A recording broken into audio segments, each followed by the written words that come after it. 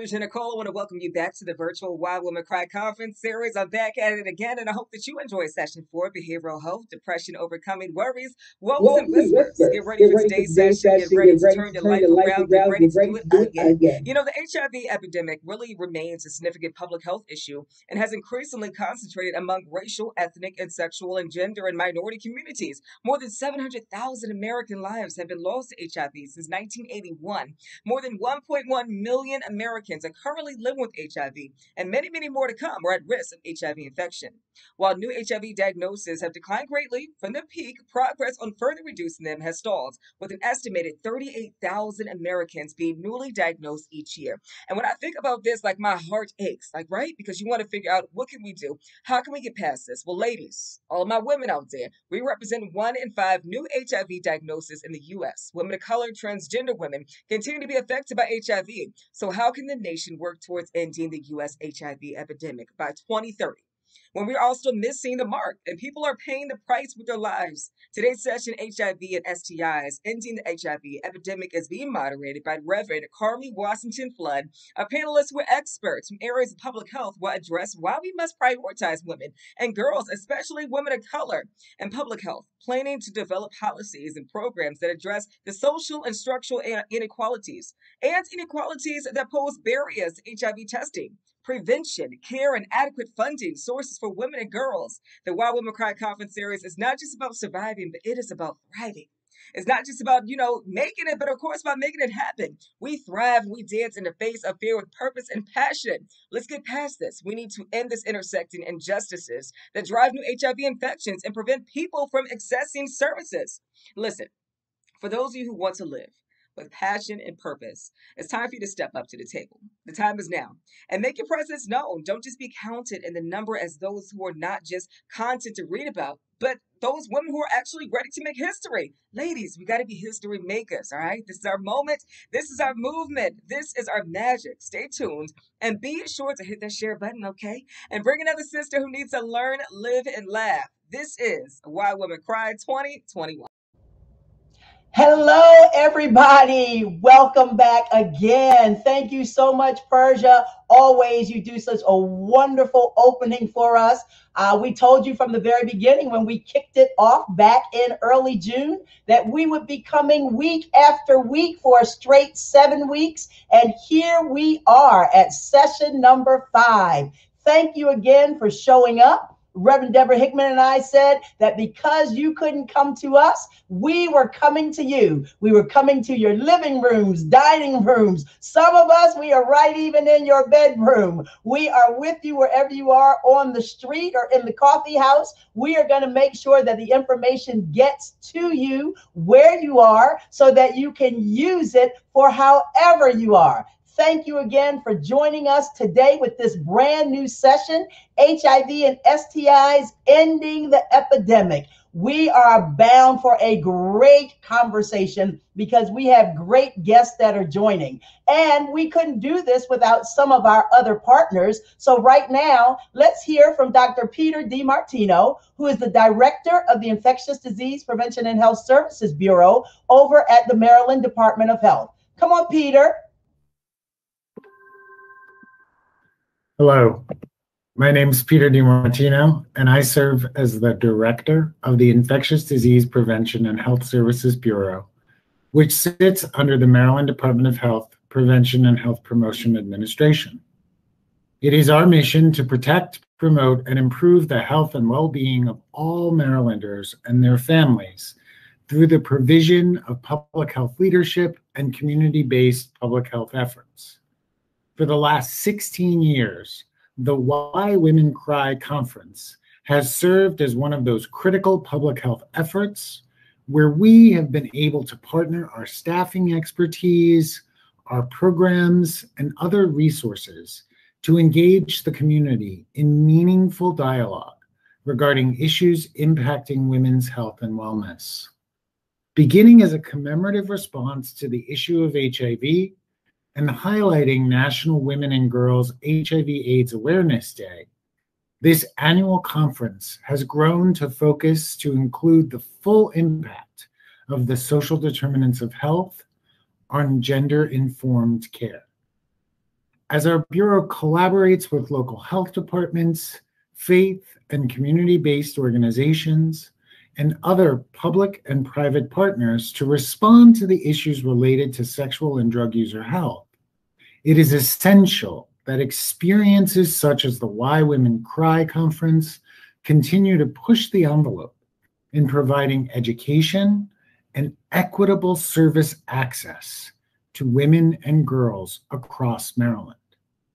I take great pleasure in recognizing the leadership of Reverend Deborah Hickman as a national voice for transforming women's health.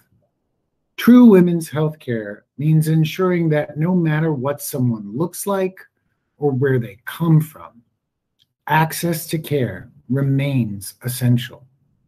Today, we are proud to be active partners in this endeavor to build a healthier Maryland. We wish you much success with this virtual conference series. Thank you so much, Peter. And always, the Maryland Department of Health has been supportive of the Why Women Cry conference and the efforts that have been pushed by Sisters Together in Reaching under the leadership of Reverend Dr. Deborah Hickman.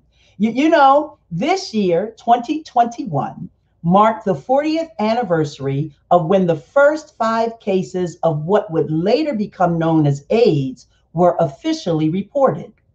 Over the last four decades, there have been challenges, champions, and choices that have emerged as public health workers across all fields have sought solutions to diagnose, treat, and care for the more than 1.2 million people in the United States known to have HIV. Like the current COVID pandemic, HIV continues to have a disproportionate impact on certain populations, particularly racial and ethnic minorities. Among women, disparities also exist. Black women are disproportionately affected by HIV as compared to women of other races and ethnicities. Although annual HIV infections remain stable among Black women from 2014 to 2018, the rate of new infections among Black women is 13 times that of white women and four times that of Latinx populations. While social determinants of health, such as stigma, poverty, medical mistrust, and fear of discrimination, often stand in the way of getting access to testing and treatment. There are some gender specific challenges that negatively impact outcomes for women. Today, though, we are fortunate to have two incredible forces in the arena of HIV and other STIs in the persons of Dr. Victoria Cargill and certified nurse practitioner Barbara Wilgus. Both of these clinicians have forged paths enabling providers and patients to gain better education, better resources, and better access to services and supports especially those targeting the health needs of women. It is actually our hope today, as we lean into the expertise of our panelists, that we will engage the listening audience in a meaningful dialogue regarding issues impacting women's health and wellness related to HIV and STIs. You know, if you were too afraid to ask before, we are inviting you to let go your fears and join our panelists as they lead this conversational line dance to needed answers and solutions. For those of you who remember the historic Soul Train line dance, everybody in the room would stand on opposite sides, rocking to the music, while the featured dancer would take center stage and come down the middle in a choreographed spotlight that would show off their best moves. So, right now, let me introduce for you Dr. Victoria Cargill. Dr. Vicki Cargill is currently the Assistant Commissioner of the Baltimore City Health Department. She received her medical degree from Boston University of Medicine and has practiced for well more than 30 years and is still saving people's lives. She is what we would call a revolutionary researcher using and interpreting data to develop policies and programs that meet the needs of individuals and not just institutions. Dr. Vicki, it is certainly my pleasure to step to the side and let you take center stage as the virtual dance floor is all yours. well, thank you, Carmi. I must say I hadn't thought about uh, the Soul Train dance in a long time, so uh, this is going to be a lot of fun. Since uh, we have time constraints and there's so much to talk about, let's go ahead and start right on with the first slide and talk about HIV and women.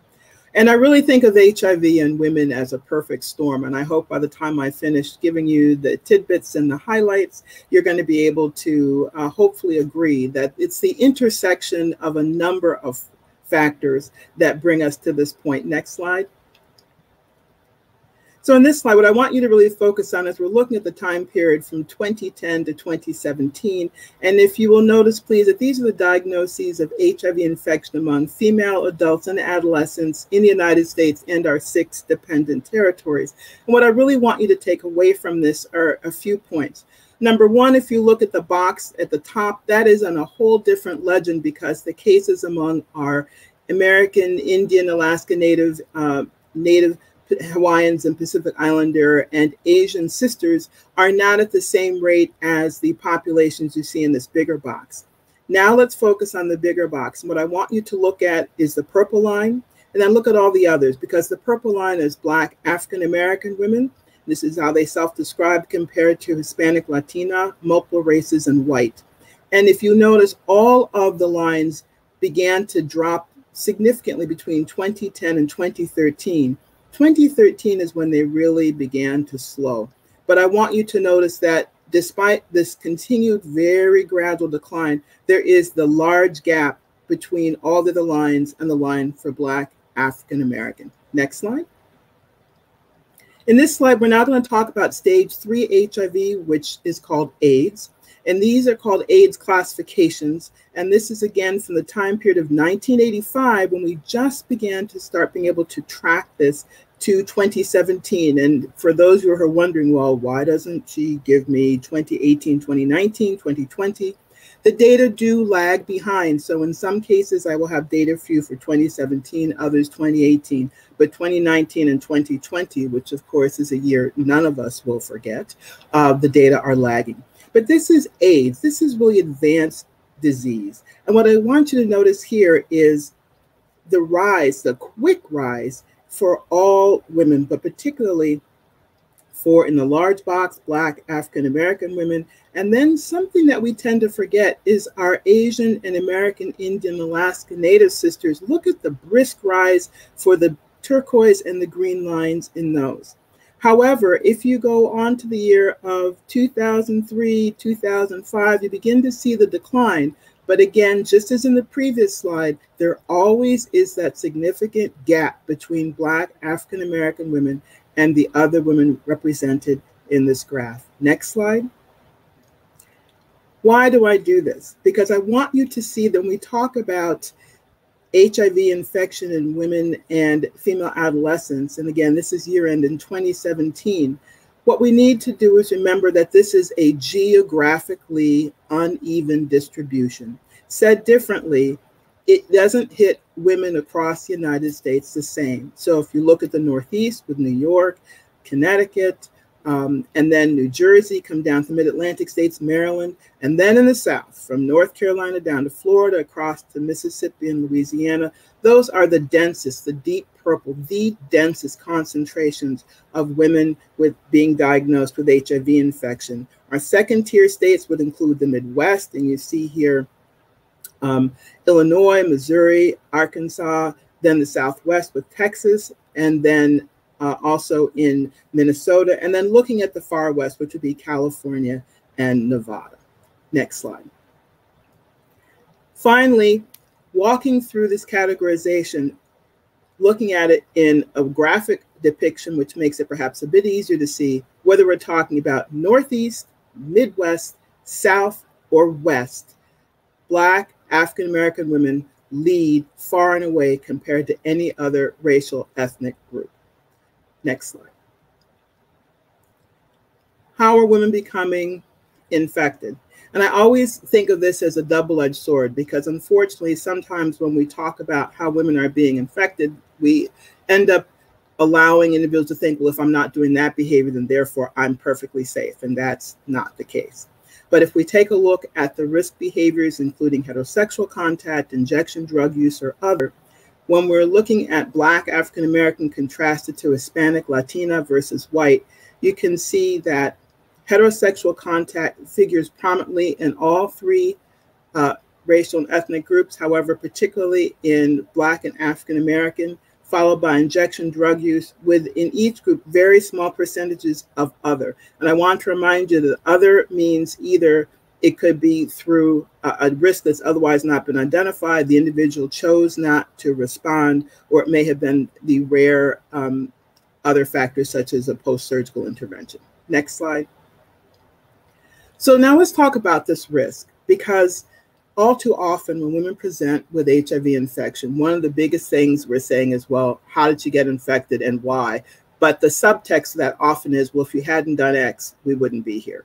And I like Joseph Conrad's uh, quote, which is being a woman is terribly difficult task since it consists principally in dealing with men. And to our men who are, are watching, I'm not bashing you, but when we do have a disease with heavy heterosexual transmission, does mean that women are dealing with men. Next slide. And there are a lot of components of women's HIV risk, and I just want to take a minute here to unpack this. And we'll talk about this in the context of the list and also in the pictures because they're very intentional. Women's risk for HIV, and as you'll hear uh, with our next speaker, STDs, first and foremost, it's a biological and anatomical risk. It's the way the systems for women's uh, genital urinary tracts and genital tracts are constructed, and we'll talk about that. There are behavioral issues because there are still gender and um, social norms, although those are changing, which clearly affect how women behave and how they engage in certain situations. There's no doubt that the educational level of the woman very much affects how much access to and understanding of health information that she has. There are situational contexts women who are in situations where there is an unequal power balance or where she is fully dependent for her survival upon another individual limits and may adversely affect how much of a role she can play in protecting herself. Socioeconomic factors, we know that women who are poor, women that have limited or poor access to healthcare in general, uh, tend to be more at risk and when infected do more poorly. And then finally, there's sociocultural factors. And these are things that are hard to quantify, and it requires us to really be proactive in not only identifying them, but engaging with communities to fully hear and engage them as partners so that our work and our research and our policies can be informed and be helpful instead of punitive. So, why are these pictures here? Let's go through this. We talked about behavioral risk, we talked about situational risk, and we talked about biological and anatomical. This upper slide here is a picture taken from parties that are were being hosted up into and right up to the time of the pandemic in New York City, where the host organizers would put out an ad for a call for quote hot women to come and be parties with these men because these were big shots coming to town. Often corporations would engage with them. These young girls would be paid, and they were to quote make the patrons happy. And I'll let you fill in the blanks from there. These are women who may be educated but may have economic or other issues that drive them to engage in this. Let's go to this young girl over here. This is a picture of a young girl. No, she's not from the US, but she's from Mumbai. But I would remind you that the Women's World Health Report recently published revealed that two thirds of the world's illiterate are women. Two thirds of the world's illiterate are women. And they aren't just in other countries, they include in ours. And here she is trying to do her studies because she's homeless on the streets of Mumbai. There are situational, sociocultural, and behavioral. So let's switch down here to women's drug of choice. There are not only clearer gender differences in addiction and in women, and there are biological differences in how women respond to these drugs. For example, Women are known to drink alcohol for relaxation and for uh, basically to help soothe them, whereas men more often drink to prove manliness, to um, get up courage, to become aggressive, etc. For example, for women who are drug injectors. Many women did not begin their injecting journey on their own. They were injected by partners. So again, even if we, for example, discuss messages of sexual safety, sexual safety may be occurring in the relationship, but there may be needle sharing, and that is certainly a risk. And then last, I want to go to this picture over here to remind us of the significant underreported and ongoing role of intimate partner violence. It is difficult, and I would go even further to say it is inappropriate to counsel women to be proactive, to take care of themselves, and to mitigate their risks without knowing if that woman is in a safe situation. Said differently, I have unfortunately cared for women who have been advised, oh, you just must go home and be safe, without recognizing that woman was already being beaten, and to do so placed her at increased risk. That is not to say we don't counsel these women, but we must counsel in context because none of these behaviors and HIV risk in general does not occur in a vacuum. Next slide. Now, before, for those of you who may have hated science, before you tune me out, roll your eyes and say, this is where I bailed out and have to go to the bathroom, I'm going to make this relatively easy. There's a reason why we are concerned about risk behaviors, particularly anal intercourse, yes, anal sex and vaginal sex, because the two structures look different. If you can, we call these columnar cells. You think of them, just think of them like big pillars that hold up things, but they're only one cell layer thick.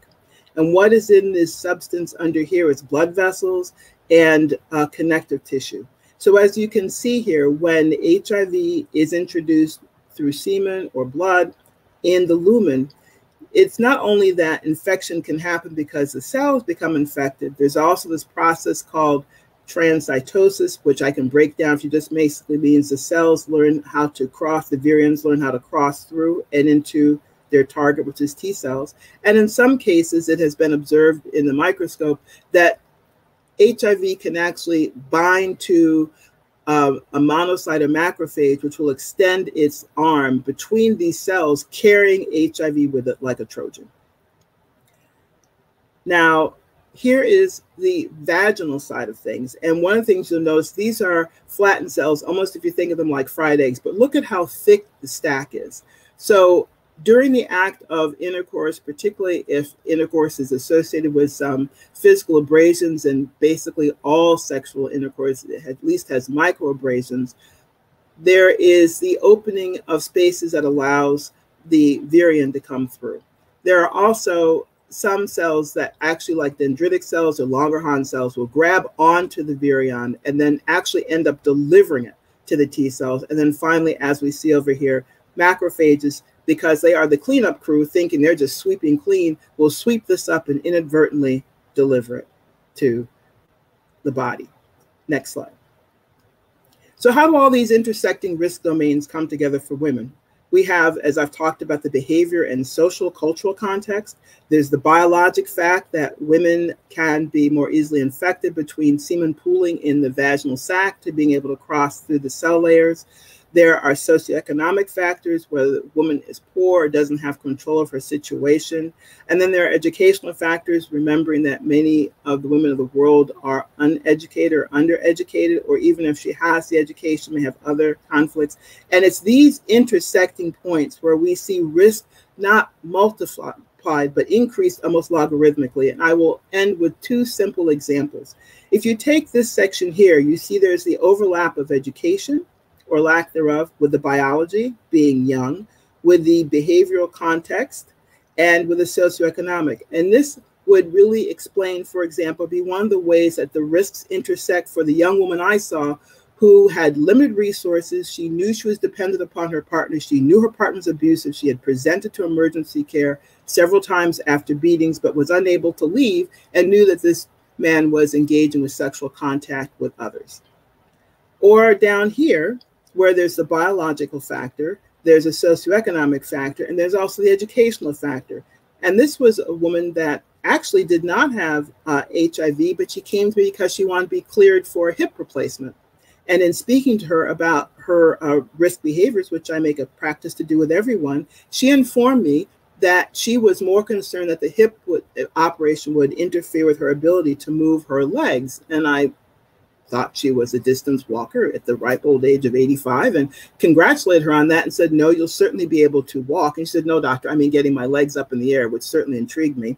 Uh, and she said that she charged the men with whom she had sex money, not because she wasn't uneducated, not because she didn't uh, have any other resources, but because she was on a fixed income. And she felt that her deceased husband had done his best to provide for her, and she wasn't going to squander that, that if someone wanted to have sex with her, they could pay her for it. Next slide.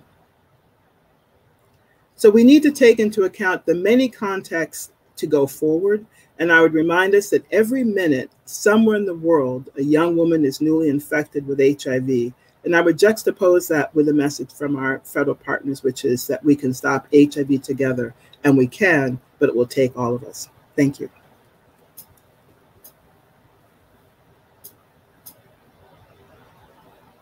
Carmi, I think you're on mute. Look, I, I was just, I'm here writing notes and I'm, I'm trying to talk at the same time. What a powerful presentation. And that, that last example you gave of somebody making sure that if my legs are going to be up, somebody else is paying for it. It's, it's not coming out of my retirement fund. Wow, that that is an incredible example of how you then talk to people in the context of where they are and what they say their needs are. Uh, look, I know that there are a lot of folks who are clamoring to jump into the mix because you just put a lot of things out there. But first, anyone who has ever attended a Why Women Cry conference before knows that when we turn the lights on the center stage, we always have several stars that show up. So, our next featured conversational choreographer is Barbara Wilgus, a certified registered nurse practitioner providing outpatient care at the John G. Bartlett Specialty Practice at Johns Hopkins. Barbara is what we would call an STI traffic monitor, meaning she can tell you how fast to go, where to watch the curves, and when you should come to a complete stop. Barbara, it is always a pleasure to have you in the room. And right now, we want you to step on this virtual dance floor and teach us some new steps. The spotlight is all yours. Thank you so much. And I want to thank especially the organizers of the conference. I want to thank Sisters Together in Reaching and uh, my, my heart and my soul, Dr. Hickman, um, Reverend Hickman, because, because as you know, I would do anything for you, and here I am doing it. So I'm going to talk, I'm going to supplement Dr. Cargill's um, wonderful, wonderful presentation, um, and you can go ahead and put my slides up. Um, with a little bit of um, a, a, wider support, um, thinking about um, what else is involved in ending the HIV epidemic. And what I really want to talk about is really sexual health in general.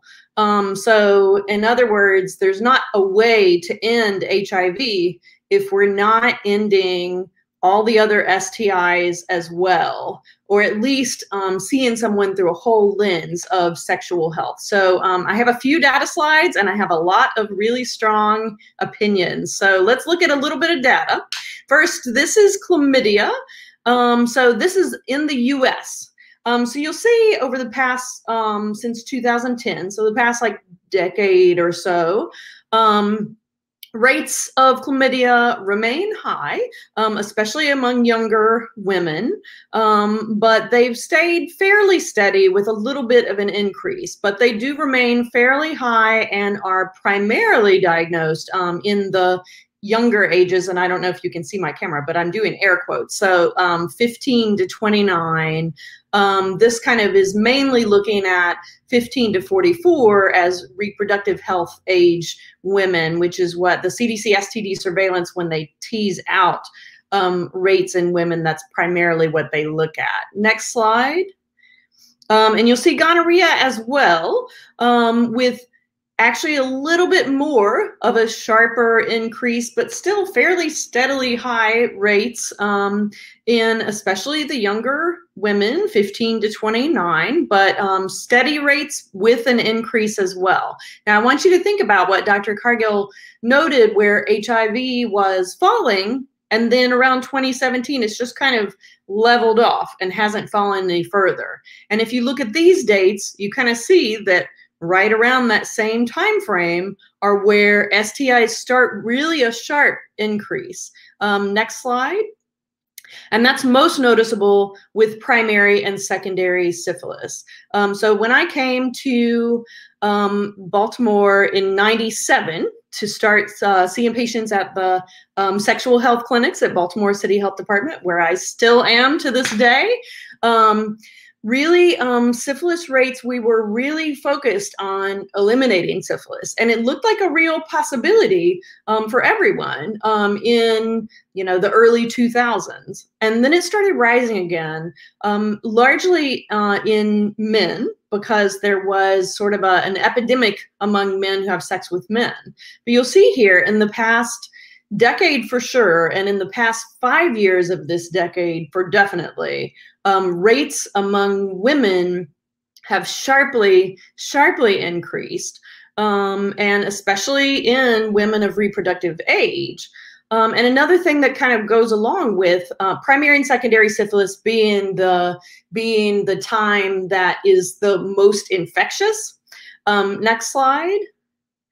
What goes along with that, unfortunately, is that as primary and secondary syphilis is um, increasing among women of reproductive age, congenital syphilis, which is the infection of a neonate um, during pregnancy, um, is also sharply increasing. So this is a lot of morbidity. This is a lot of of stillbirths. So this is a lot of really serious health outcomes um, and primarily, to me, this is also a marker, and this is my strong opinion, but this is a marker of the need for comprehensive sexual health services and reproductive health services for women and the lack of that where they are accessing health care. Um, one more slide about congenital syphilis. Next slide that really shows that um, is so this is looking back this was a new slide that cdc put out this year and it made me cry actually when i first saw it. So now you know what makes me cry.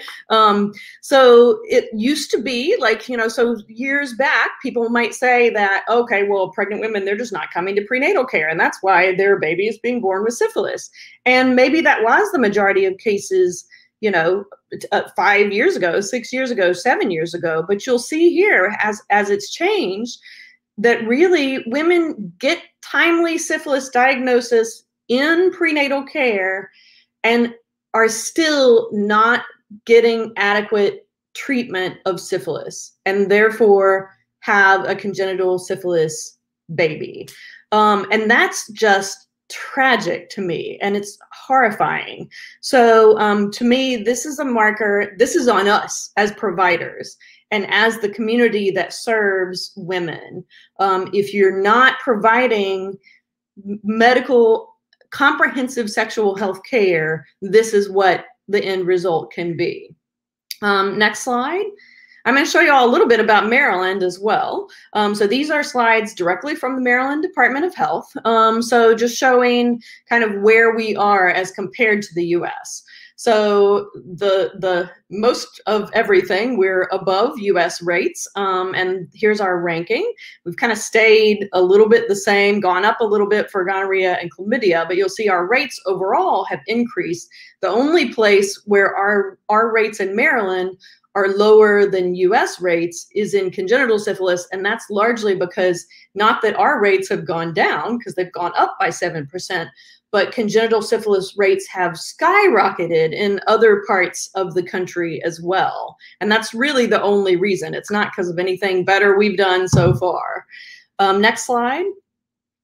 Um, I'm just, I'm harping a little bit on congenital syphilis again, because this is a, another, again, it's a marker of women's sexual health to me. Um, so this is actually um, rates from 2010 to 2019, the state of Maryland. Um, and then in 2019, the highest number of cases since 2009, um, representing a 46.3% rate increase. So that's lots and lots and lots of cases. Um, next slide. And I don't, people harp on Baltimore a lot. And I'm from Baltimore, and don't harp on my city, state, because look, women's sexual health is lacking all over this state. It is not only a Baltimore City issue. So, this is the risk for congenital syphilis um, all across the state. And you see, there's no zero risk, and there's a whole lot of red counties all over the place. Um, so, it's not just Baltimore City, it's everywhere in the state and providers everywhere should be thinking about sexual health. Um, next slide. Um, and additionally, so some barriers to care that have been teased out um, with people delivering an infant diagnosed with congenital syphilis. So this is the past three years there is a lot of it. There is a huge increase in um, people who reported having sex under the influence of substances or IV drug use, non IV drug use, and sex work. Um, now, what I want to say to this is that, again, this is on us as providers and as a community. Because if you're a sex worker, if you're using substances, you have an absolute right and you deserve good, comprehensive sexual health care. Hear me say this again. You, as a woman who are a sex worker and a substance user, if you're a single woman, if you're a married woman, if you're anybody at all, you deserve comprehensive, sex positive, sexual health care that can get you to your healthiest state. So you can prevent HIV, so you can prevent all these other STIs. So come see me at the sexual health clinics in Baltimore City Health Department. I'm work there on Wednesdays and Thursdays. Um, so um, I do want to say a little bit about kind of COVID and how that impacted Maryland. Um, this is just a little bit of a snapshot. Um, next slide. So um, how these rates all got impacted by COVID. As everyone remembers, everything shut down. Um, we all stayed home, but um, we didn't all stop having sex. Um, so, what happened? This is kind of a timeline here, um, and this compares 2019, which is just kind of your normal, you know, this is just how many tests were done at the Maryland State Laboratory. So, this isn't all labs. This isn't, this is just like specimens that got sent to the state laboratory. But you'll see in 2020, when everything shut down, the number of tests sharply decreased. And while they're kind of, you know, coming back up as things reopen, um, still less tests are being done than were done in 2019. But then if you compare that to, and again, this is still the Maryland State Laboratory data. Um, so next slide.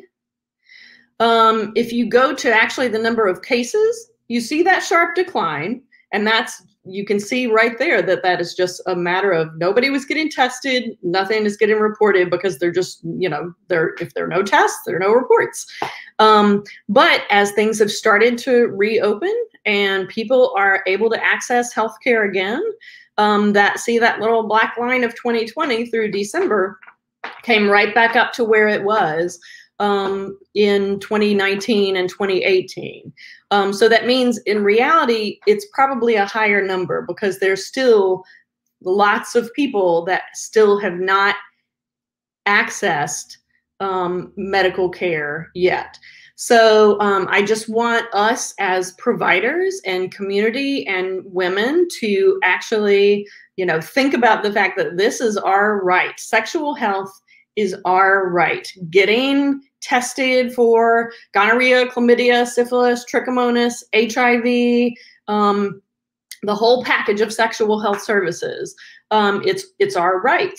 Um, and final slide of data is just that it is actually the law as far as syphilis goes. Um, during pregnancy in Maryland, all people are screened for syphilis at the first prenatal visit rescreened at 28 weeks gestation, and screening at delivery if a person lives in an area with high syphilis prevalence, which you just saw that map of Maryland.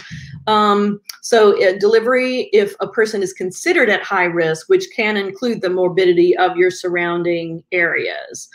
Um, I mention this also because this is the law in Maryland for syphilis. I asked the other day uh, when I was watching um, um, a lecture um, on HIV transmission, maternal to child. Um, and in Maryland, HIV testing at delivery is not written into law. It can be offered, and many times is offered, which is wonderful, but it's only um, required at the beginning of prenatal care. So it's something also to consider um, that when you're thinking about sexual health services in general, that while we remember HIV testing, we also remember all the other testing, but also while we do all the other testing, we're not forgetting HIV testing. And most importantly, um, HIV prevention. I talk to everyone about have you heard about HIV prevention with PrEP? And I'm hopeful that lots more and more people, as people find out about PrEP, decide for themselves if they want to use it. Um, it's a very effective tool to prevent HIV and um, come see me for sexual health services.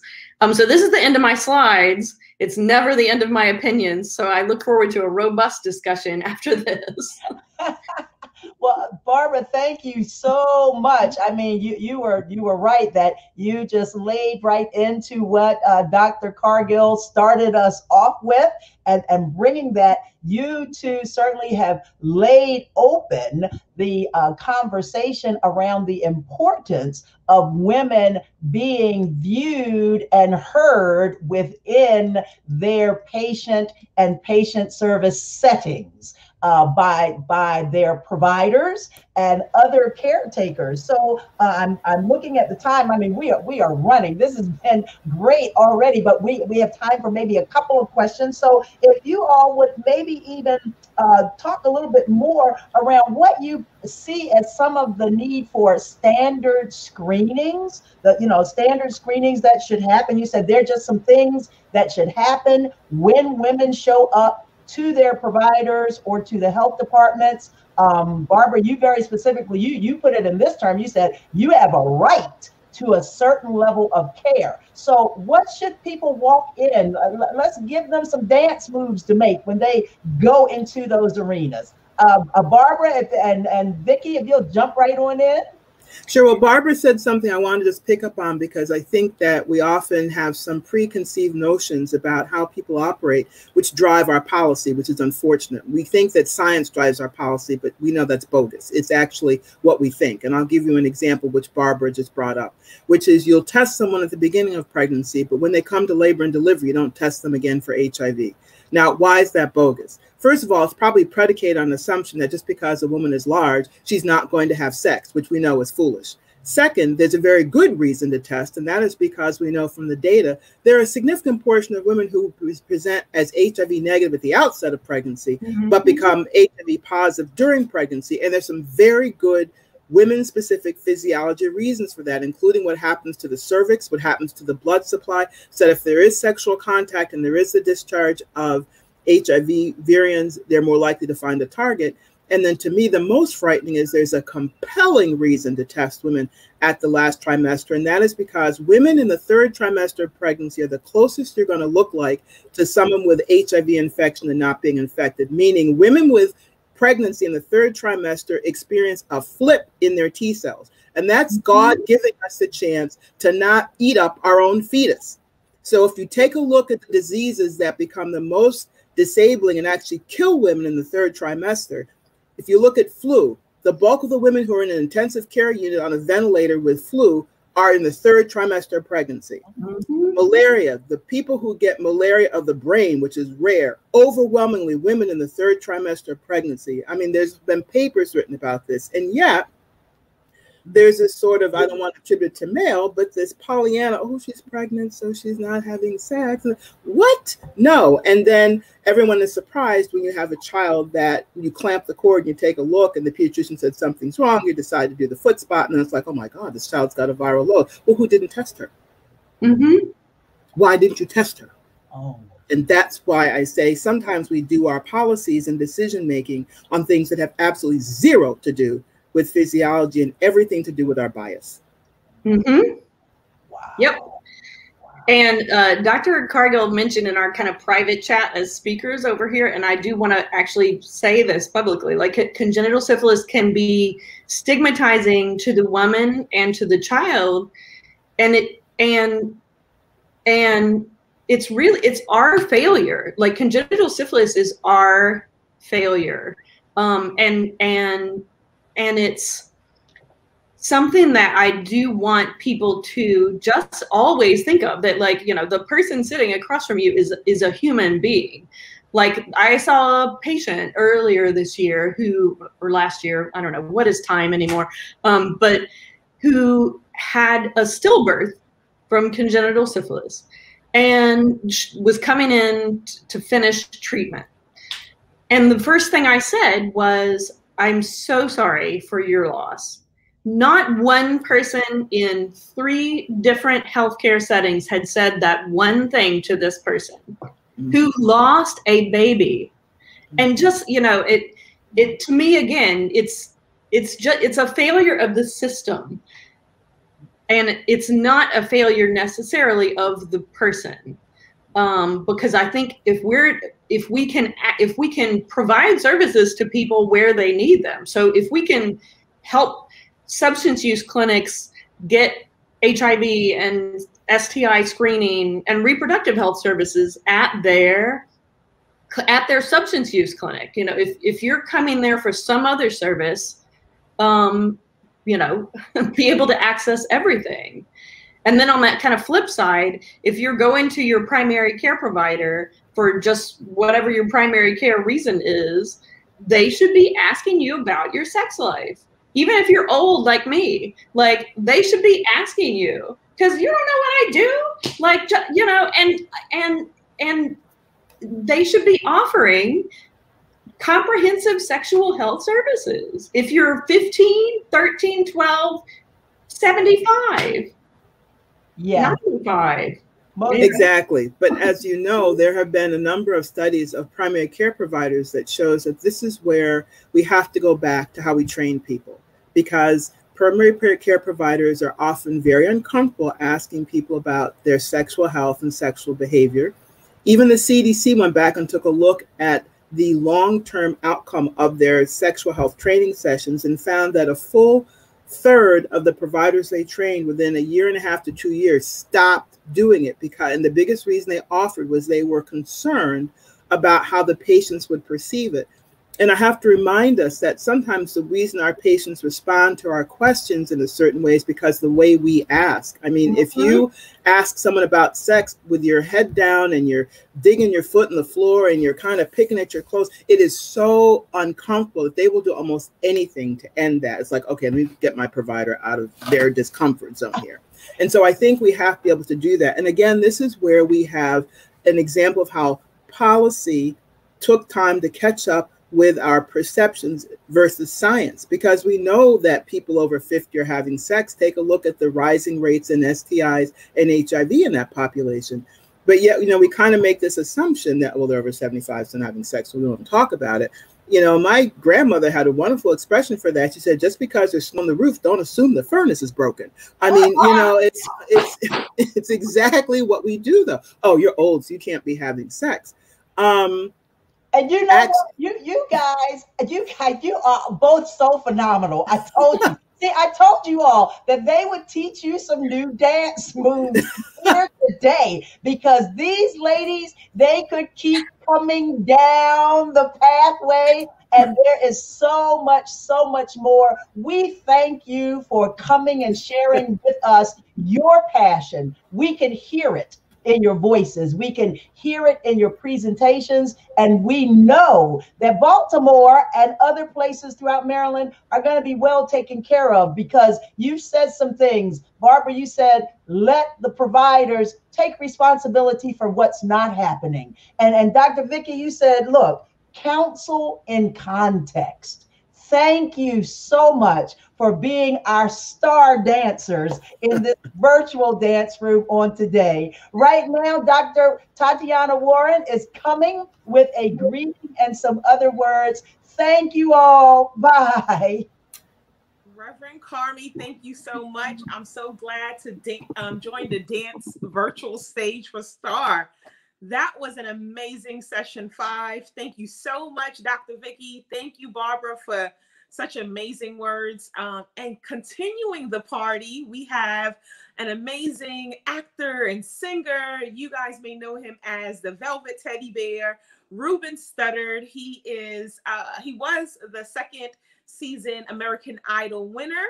And he has a special message for Reverend Hickman, followed by his wonderful song, What If? And I say, What if we end this epidemic? Hello, everybody. I'm Ruben Studdard, and I'm pleased to offer congratulations to the CEO and founder of Sisters Together and Reaching Incorporated, Reverend Deborah Hickman, on 30 years of service and the 16th year of Why Women Cry Conference. Congratulations, Reverend Deborah Hickman, and God bless you. I'm having some problems at my house. I need you to get over here right now. All right, then. Mm.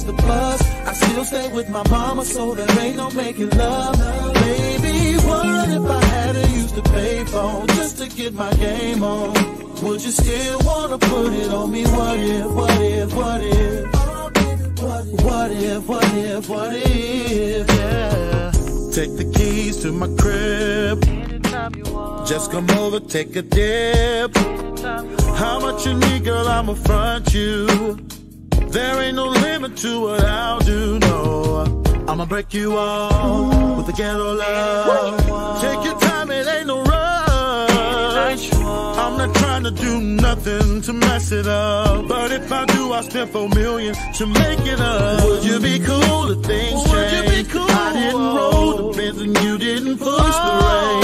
I know what we got don't last.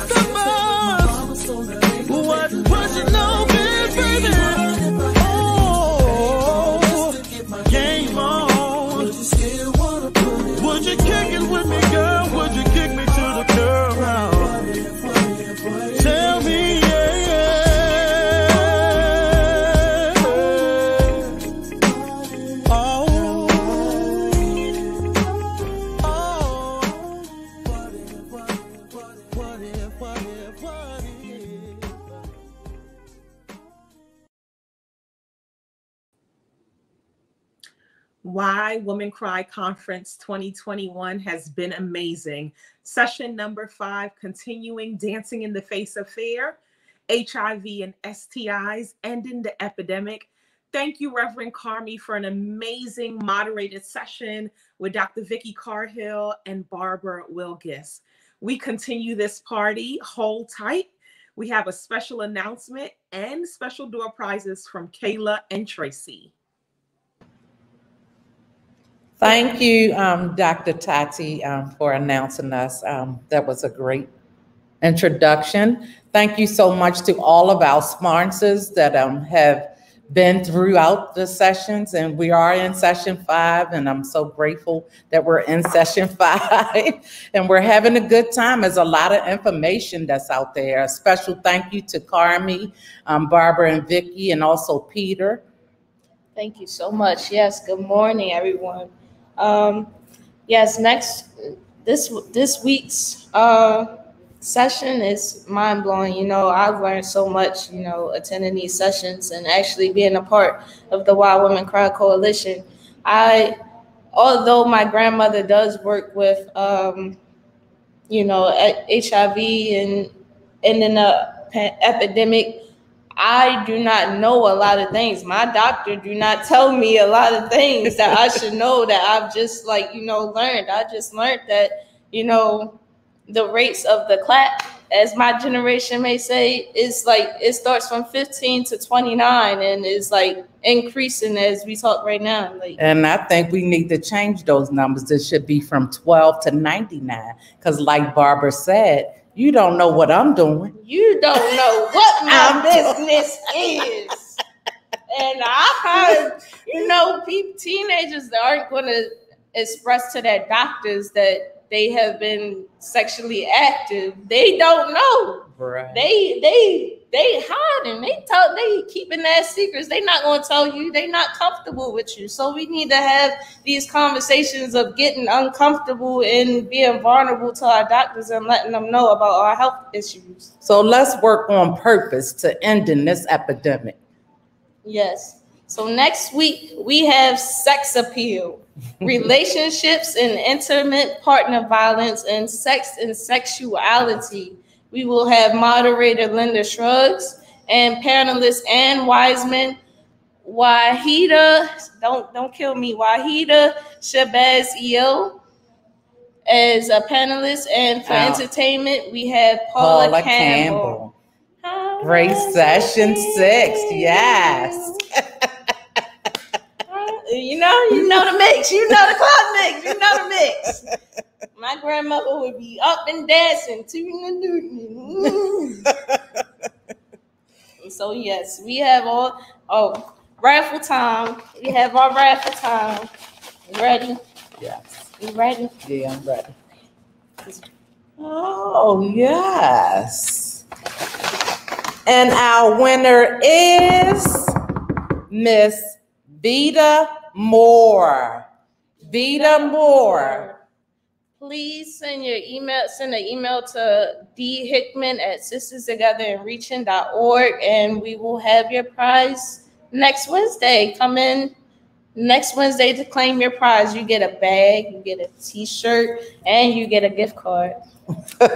So we're looking forward to Vita Moore reaching out to us. Yes, and we have a special uh treat for you guys. Give us one second. I guess. Y'all ready? Y'all ready? Y'all ready? Y'all ready? Here we go, Why Women Cry. Yeah! We in here. Let's go. Woo! Why Women Cry. Here we go. 15, 16. Woo! and that's it. Good job, guys. Told you